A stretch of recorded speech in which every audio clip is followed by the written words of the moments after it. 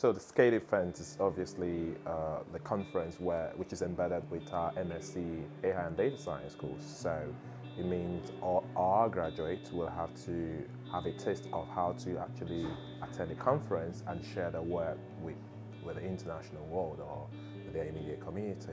The rationale behind the event is obviously to help our students uh, familiarize themselves with the external world and then improve uh, the exposure in context of having to share knowledge, uh, particularly new knowledge, uh, with people of different uh, background or different disciplinary understanding. Today I was presenting my project on the conference. So the, my project was on the British Sign Language. So I labeled it as HandChat.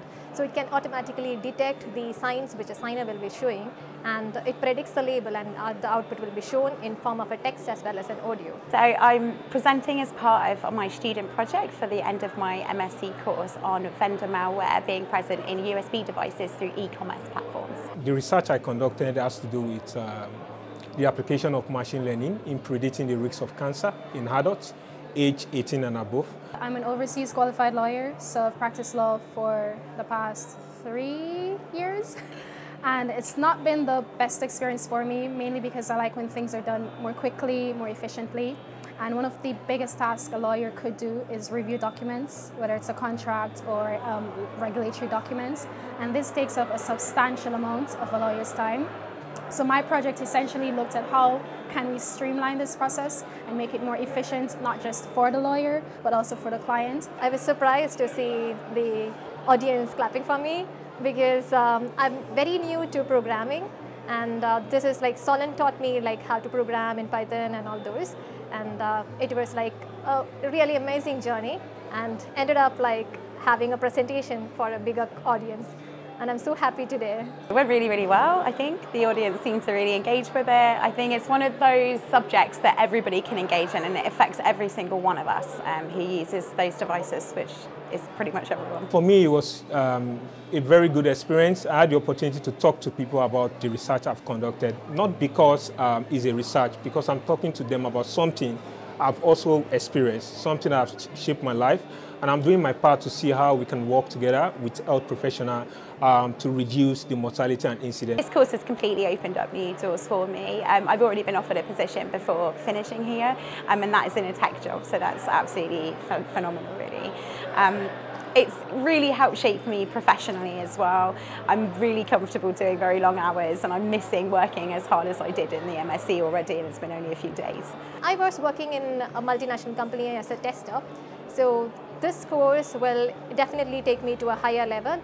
Like I do want to work as a data scientist and um, obviously I'm in love with data, like how data can be processed and how it can be further enriched and how AI can help the make a better world. My background is in finance. I'm seeing myself doing stuff in health. Um, this course actually prepared me to solve any problem in any domain I find myself. Uh, be it finance, be it health, be it education, I can apply the skills I've learned anywhere in the world to solve everyday problem people face using um, machine learning and AI. I was really excited coming here. I learned a whole lot. I think the university itself and the faculty have been really supportive in my journey, especially because I didn't have any knowledge of Python or anything before.